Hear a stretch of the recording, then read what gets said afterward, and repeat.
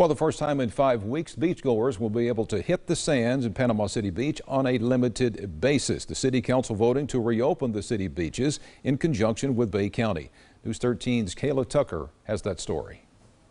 In their first day on the job, newly elected Mayor Mark Sheldon and Councilman Michael Jarman were faced with a tough decision to open the nine miles of beach in the city or not. Obviously, a hot topic during our campaign season, and for Michael and I both, and I know uh, Councilman Chester dealt with it as well. After a short discussion, the council voted unanimously to open the sands during limited hours of the day. It's important for people to have outlets for uh, exercise and fresh air and sunshine. I am a little concerned with our surrounding states and our states not having any uh, decline in new cases.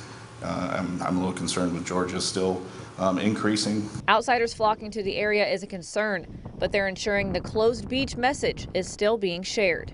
The TDC is not going to be advertising for visitors to come down here, by no means. They're actually going to be flying a banner plane twice a day, I think, twice a day, and uh, just, you know, warning people and everything. So I assure you, they're not advertising and opening up the floodgates for visitors to come down. While the beaches are only open for a limited time each day, Mayor Sheldon says they will be watching the virus even closer than before. That I want to make sure that we are watching it so the curve doesn't doesn't doesn't grow on us. You know, but if it's level or down, then we can look at it. We got to look at. know we have the best police department and fire department in the area, and uh, they will be relied upon heavily to make sure that everything is going smooth. The opening will go into effect Friday morning at 6. In Panama City Beach, Kayla Tucker, News 13, Panhandle Strong.